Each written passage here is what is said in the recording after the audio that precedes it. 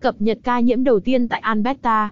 Trả lời báo chí trong buổi họp báo vào lúc 5 giờ 30 chiều nay, thứ năm ngày 5 tháng 3, đại diện cơ quan y tế tỉnh bang Alberta đã xác nhận ca nghi nhiễm COVID-19 đầu tiên tại tỉnh này, tuy nhiên họ vẫn đợi kết quả cuối cùng từ phòng thí nghiệm quốc gia.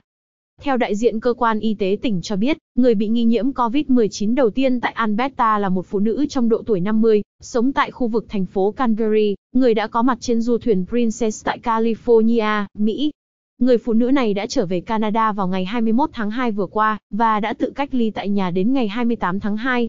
Cơ quan y tế tỉnh Alberta cũng khuyến cáo người dân trở về từ du thuyền Princess hãy tự cách ly và hạn chế đi lại. Cũng theo cơ quan y tế tỉnh, thì hiện tại nguy cơ lây nhiễm COVID-19 tại tỉnh Alberta vẫn còn thấp. Tuy nhiên, cơ quan y tế cảnh báo người dân không chủ quan, tiếp tục cẩn thận, giữ gìn vệ sinh sạch sẽ, rửa tay thường xuyên và tránh đưa tay dơ lên mặt. Cơ quan y tế tỉnh khuyến cáo người dân nên cảm thấy có những triệu chứng như ho, khó thở và sốt thì không nên đến trực tiếp tại bệnh viện, mà hãy gọi điện cho cơ quan y tế tỉnh Alberta tại số điện thoại 811 để được theo dõi và hướng dẫn từ cơ quan y tế.